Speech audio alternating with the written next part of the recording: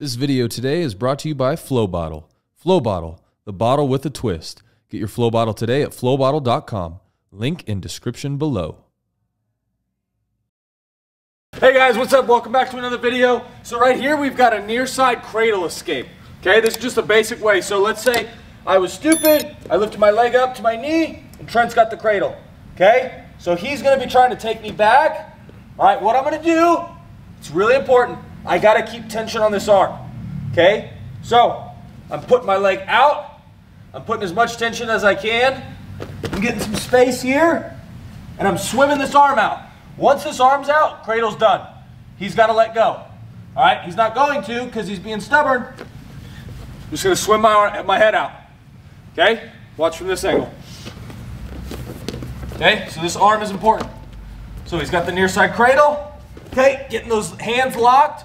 All right, if you can break it, break it. All right, that's even better. That's where we want to be. We want to break his lock if we can, but if we can't, we're pushing, we're pushing.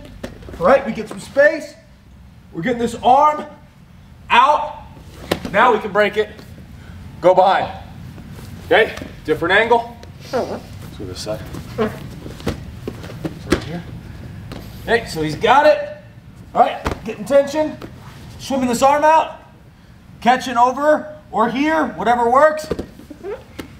Swimming our head out. All right, go give it a try. Make sure you like the video. Comment what you want to see next. Don't forget to subscribe.